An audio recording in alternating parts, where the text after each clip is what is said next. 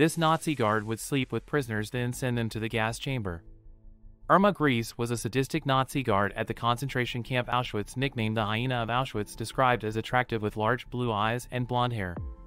She was the poster child for the Aryan race. Grese was known for whipping women on their breasts and forcing Jewish girls to watch as she rewarded inmates. She would beat at least 30 women to death every day and enjoyed selecting young attractive girls for SA before sending them to the gas chamber. Grese was known for being a nymphomaniac and would essay male and female prisoners even organizing orgies with other Nazi guards and their wives. She participated in medical experiments on prisoners and watched with pleasure as a woman gave birth while tied up. Grese even had lampshades made from the skin of three dead prisoners.